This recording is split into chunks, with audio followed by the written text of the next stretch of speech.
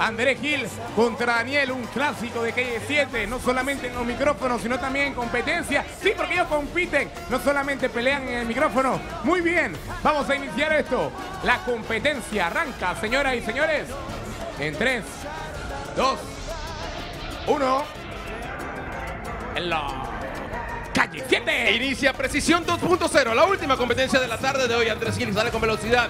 Daniel tratando de recortar. Ya pasan la primera parte del circuito. Vamos a ver entonces ahora se ven asistidos por sus compañeros y tienen que utilizar la paleta para colocar el balón dentro de los cilindros. Andrés lo hace bien. También Daniel viene regresando con velocidad. Un pique rápido para dar la campanada y Daniel llega primero. Campanadas simultáneas y ahora el enfrentamiento es entre Denise y Sara que están atrás. Darling. Oye, sigue pasando una cosa. Es que las Se parecen, Ramiro. se ahora. parecen, sí, sí, Se hombre. parecen. Aquí estamos viendo Darling muy rápida. Vamos a ver si lo logra. Se cae el balón. Y eso lo aprovecha Da- Darling. Denis, perdón, para regresar con velocidad. Y el equipo rojo empieza a irse arriba. Recordemos que en la tarde de hoy tendremos otro nominado, otro u otra nominada. Segundo nominado de esta semana y de esta cuarta temporada de Calle 7 Panamá. Y vamos a conocerlo luego del resultado de esta última prueba. El ganador se lleva el día. Cada equipo tiene una victoria y esta es la última, la definitiva. Enrique dando la siguiente campanada. Mientras tanto, por parte del equipo amarillo, es Franklin el que está teniendo problemas al momento de colocar ese balón con la precisión 2.0. Sale por allá Ana Paula del equipo Escarlata a tratar de hacerlo por parte del equipo rojo.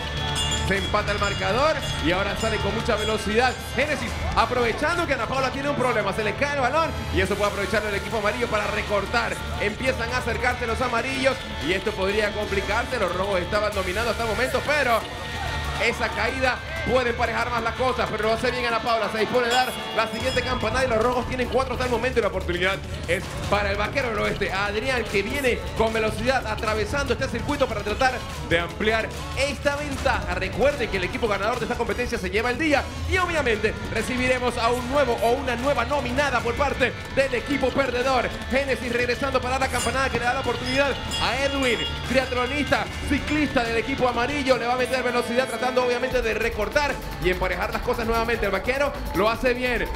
Edwin en posiciones, Pocho allá con el balón asistiendo. Vamos a ver, campanada escarlata. Y nuevamente sale Daniel, pero muy bien Edwin, ¿eh?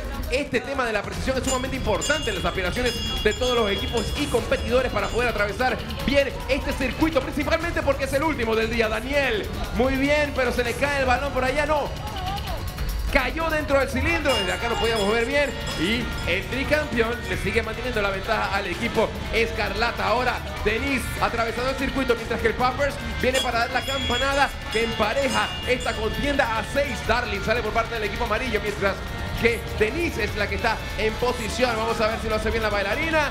Muy bien al momento del balance. Viene con un pique de velocidad Denise para dar una siguiente campanada. Ya estamos llegando a la marca de los primeros tres minutos de competencia. Darling también lo hace bien. Regresa con velocidad. Sale el Karate de Enrique Siu mientras que vemos a Franklin que caía, pero se mantuvo ahí a fuerza de brazos. Pero muy bien lo hace el subcampeón. El Karate Kid da entonces la siguiente campanada por parte del equipo Escarlata. Muy bien el equipo amarillo tratando de recortar. Franklin sin ningún tipo de inconvenientes. Ana Paula ya se coloca en posiciones mientras que Genesis sale con velocidad para tratar de sortear los obstáculos y ponerse en posición también de precisión 2.0. Última competencia de la tarde de hoy, la que define qué equipo se lleva la victoria en el día de hoy. Ana Paula se le cae el balón y ahora Genesis lo hace bien por parte del equipo amarillo y cambia la historia de esta competencia. Son los amarillos ahora quienes están adelante. Edwin sale con velocidad a tratar de mantener y los rojos son los que están presionados. El vaquero del oeste sale con la campanada. El empate es a nueve campanadas para cada uno de los equipos. Edwin para dar la décima de los amarillos. Sale el Pappers. Mientras tanto tenemos al vaquero que tiene una presión muy grande so- sobre sus hombros. No puede fallar. Lo hace bien y se dispone a regresar. Quien espera el campeón, el tricampeón, el hombre de la construcción por parte del equipo rojo. Aprovechando porque Andrés Gil pierde el balón. Y ahora el que se acerca es Daniel. El equipo rojo complicando esta competencia.